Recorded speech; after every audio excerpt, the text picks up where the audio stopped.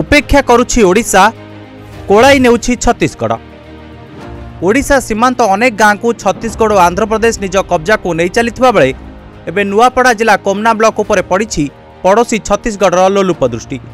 ସମୁଦ୍ର ପତନଠାରୁ ତିନି ହଜାର ଫୁଟ ଉପରେ ଥିବା ସୁନାବେଡ଼ା ଓ ସୋସେଙ୍ଗ ଭଳି ଦୁଇଟି ପଞ୍ଚାୟତବାସୀଙ୍କ ପ୍ରତି ଓଡ଼ିଶା ସରକାରଙ୍କ ବୈମାତୃକ ମନୋଭାବ ଅଭିଯୋଗ କରି ଛତିଶଗଡ଼ରେ ମିଶିଯିବାକୁ ବସିଛି ପ୍ରଜାମେଳି।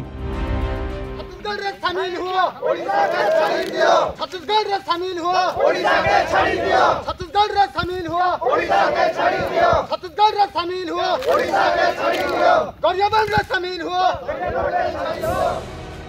ଆପଣ ଦେଖୁଥିବା ଏହି ଭିଜୁଆଲ ସୁନାବେଡ଼ା ଅଭୟାରଣ୍ୟ ଭିତରେ ବସିଥିବା ସେହି ପ୍ରଜାମେଳିର ଯେଉଁଠି ଛତିଶଗଡ଼ ମୁଖ୍ୟମନ୍ତ୍ରୀଙ୍କ ଜୟ ଜୟକାର ହେଉଛି ଏହି ଅଞ୍ଚଳର ବିକାଶ ପାଇଁ ରାଜ୍ୟ ସରକାର ସ୍ୱତନ୍ତ୍ର ଦୃଷ୍ଟି ଦେଉଥିବା ବେଳେ ଏମାନଙ୍କ ପାଇଁ ଉଦ୍ଦିଷ୍ଟ ଅର୍ଥ ହେରଫେର ହେଉଥିବା ଅଭିଯୋଗ କରିଛନ୍ତି ସ୍ଥାନୀୟ ଲୋକେ ତେଣୁ ସ୍ଥାନୀୟ ପ୍ରଶାସନ ବିରୋଧରେ ବସିଛି ପ୍ରଜାମେଳି।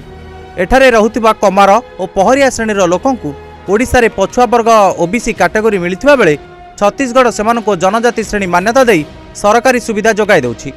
ରାସ୍ତାଘାଟ ଶିକ୍ଷା ଓ ସ୍ୱାସ୍ଥ୍ୟର ବିକାଶ ପାଇଁ ସ୍ଥାନୀୟ ପ୍ରଶାସନ ବିଲକୁଲ ଅଣ୍ଟା ଭିଡ଼ୁନଥିବା ବେଳେ ଏ ସମସ୍ୟା ଦୂର କରିବାକୁ କଥା ଦେଇଛି ଛତିଶଗଡ଼ର ବାଘେଲ ସରକାର। ତେଣୁ ପ୍ରଜାମେଳିରେ ଛତିଶଗଡ଼ ମୁଖ୍ୟମନ୍ତ୍ରୀଙ୍କୁ ଧନ୍ୟବାଦ ଦିଆଯାଉଛି। ଦିନକୁ ଦିନ ଉତ୍କଟ ହେଉଛି ସୀମା ସମସ୍ୟା ପ୍ରସଙ୍ଗ। ଗୋଟିଏ ପରେ ଗୋଟିଏ ସୀମାନ୍ତ ଗାଁକୁ ନିଜ କବ୍ଜାକୁ ନେଇ ଚାଲିଛି ପଡ଼ୋଶୀ ରାଜ୍ୟ।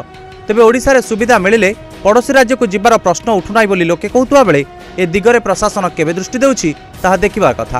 ବ୍ୟୁରୋ ରିପୋର୍ଟ ସ୍ୱାଧିକା ନ୍ୟୁଜ୍।